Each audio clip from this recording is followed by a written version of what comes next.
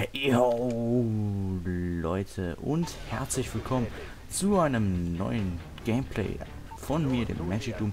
Er spielt jetzt dieses Gameplay von Sergeant These. Der spielt auf der Map Fallen Abschuss bestätigt. Dabei hat er seine ACR in Gold mit Schalldämpfer und der Zweitwaffe die USP 45 Taktik im Akimbo-Modus. Dann hat er als äh, Wurfzeug dabei die Wurfmesserchen und die Blendgranaten. Seine Perks sind Plünderer, Hardliner und ähm, Meisterschütze. Und seine Point Streaks sind die Predator, der präzise Luftschlag und die Cobra. Ja, das ist eigentlich ein recht schönes Gameplay, muss ich sagen. Also, ähm, ja, zu Anfangs ein bisschen defensiver und dann später, ähm, ja.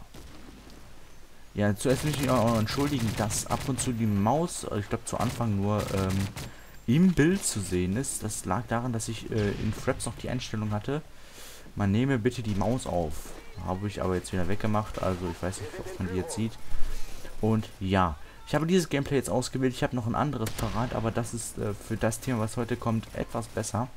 Es geht mich darum, wie ernst sollte man MW3 emotional und sonstiges sehen, wie weit sollte man da gehen? Also er spielt hier ein sehr schönes Gameplay. Manchmal denken, könnte man schon denken, dass er hackt, weil er da aus Ecken schießt, wie da zum Beispiel durch die Wand, ähm, was natürlich äh, durch äh, bei MW3 möglich ist, dass man auch durch die Wand tötet.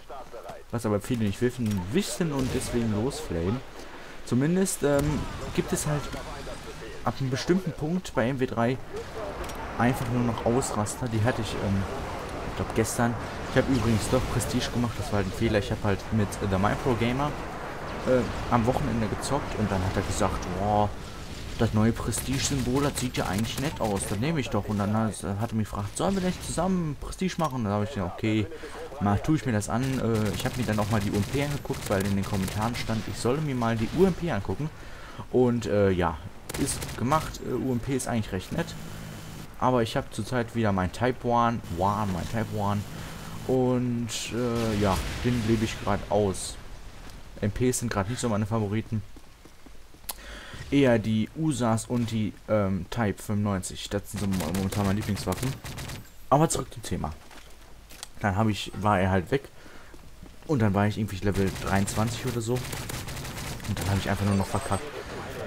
Andauernd verkackt, verkackt, verkackt, verkackt, verkackt. Ey, nur noch Minus-Scores. Und ich denke mir so, bah, nee. Aber du, ich hätte keinen Bock aufzuhören. Ich hätte ja irgendwie noch Bock zu zocken, aber irgendwie auch nicht. Das war so ein Mischmasch. Und dann wurde ich halt sauer. Und boah, wenn man sauer wird, dann flamet man halt über alles.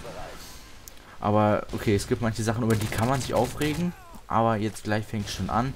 Die schreiben irgendwas auf Französisch mit ähm, Hacker und hast du nicht gesehen? Und Support, äh, meldet ihn beim Support und so und er hackt ja nicht. Das sehen die Leute halt nur noch, weil sie einfach nur am Verkacken sind. Viele Leute können einfach nicht äh, dazu stehen, dass es bessere Spieler gibt als sie. Es gibt äh, immer einen besseren als dich selber. Also es gibt immer einen besseren. Da gibt es halt viele, die das nicht einsehen können. Ich weiß, es gibt tausende von Spielern, die besser sind als ich. Aber es gibt auch tausende von Spielern, die schlechter sind. Das, das weiß man auch selber. Aber äh, die Meinung sollte man nicht vertreten, dass alle Leute schlechter sind als ein. Also ähm, da gibt es extremes Geflame. Dann gibt es auch noch, okay, hm, ja, wenn es ein wirklich Hacker ist, der gehört aus der Lobby geflamed. Ich hatte zurzeit rennen viel mehr Hacker rum, ist mir so aufgefallen. Vielleicht sollten die mal was patchen, damit äh, weniger Aimbotter und sowas unterwegs ist. Also das äh, nimmt in letzter Zeit äh, größere Maße an und ich bin der Meinung, das muss nicht sein. Denke ich mal. Also das finde ich gar nicht schön und das versiebt auch sowieso den Spielspaß. Ich habe mir sowieso vorgenommen, ähm, MW3 lockerer anzusehen. Ich werde mich einfach nicht mehr aufregen. In den letzten zwei Tagen klappt es eigentlich relativ gut. Ich habe mich bis jetzt nicht einmal aufgeregt. Ich sage, wenn mich einer tötet, ist gut, mach's das nächste Mal besser und sonst was. Und seitdem spiele ich auch bessere Scores. Das ist wirklich so. Also, wenn ich mich konzentriert und beruhigt an Spiel setze, dann reiße ich einfach viel bessere Scores. Ähm, ich hatte letztens so einen Fall. Okay, da bin ich wirklich ausgetickt, aber leider nicht mit der Volvic-Flasche. Das war noch letzte Woche vor dem Prestige. Da habe ich Dome gezockt.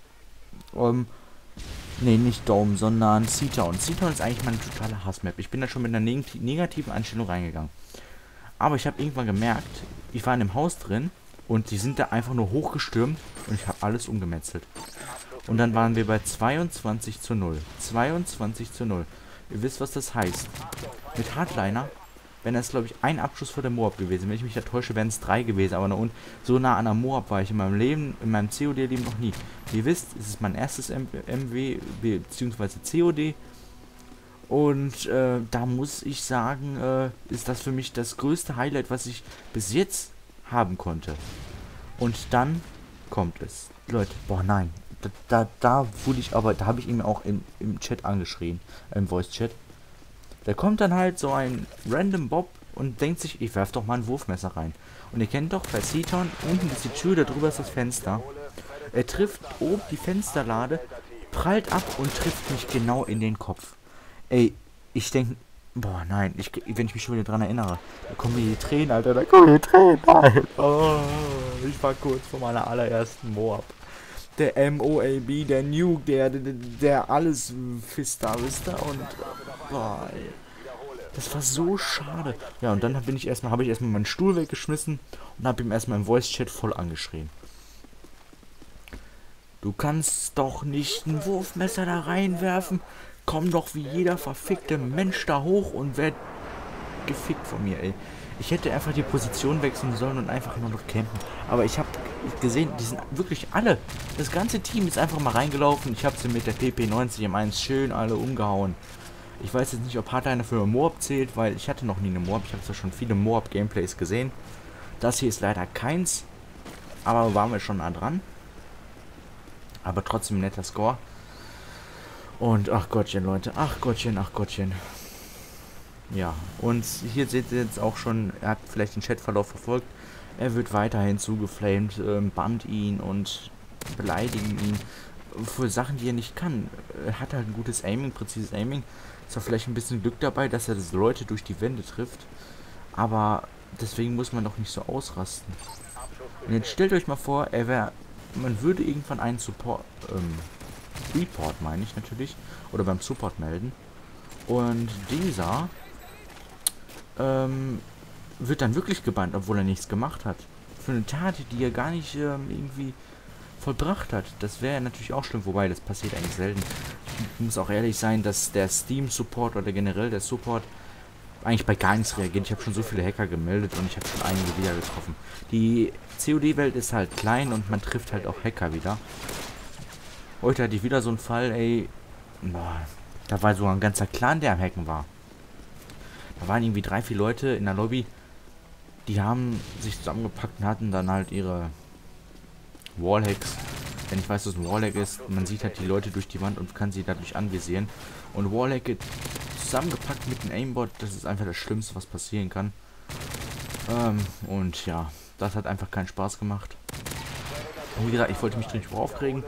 Ich bin einfach aus der Lobby gegangen, habe mir nichts dabei gedacht. Ich denke mir nur im Hinterkopf vielleicht, vielleicht sollten die mal ein bisschen was patchen. Wird sowieso mal Zeit. Ein paar Waffen gehören einfach mal wieder ein bisschen abgeschwächt.